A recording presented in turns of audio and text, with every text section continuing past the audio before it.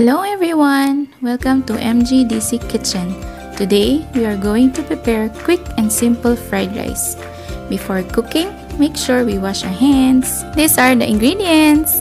Garlic, onions, fried egg, ham, sweet corn, bell pepper, carrots, green peas,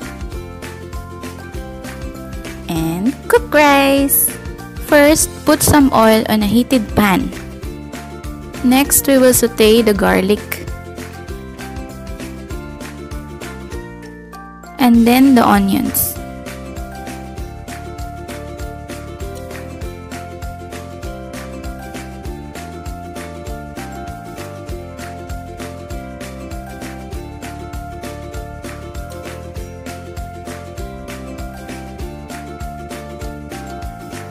After a few minutes, we will put the sweet corn and the carrots.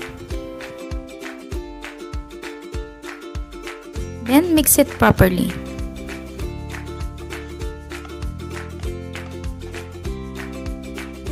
After a while, we will put the bell pepper and the green peas.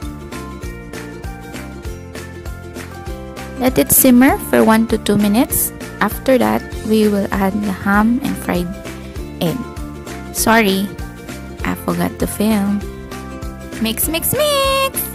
Lastly, add your cooked rice. Put your favorite seasoning and pepper or mixed herbs if you would like.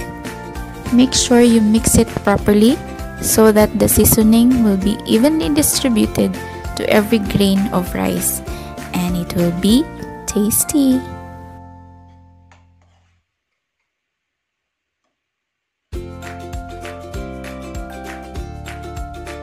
Cover it and let it cook for 2 to 3 minutes.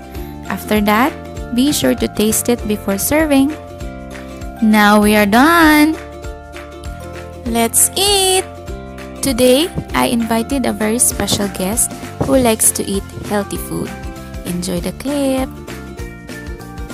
This is our pet rabbit. Her name is Angel.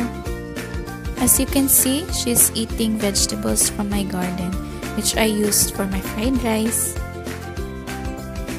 Be sure to like this video, share and comment your suggestions.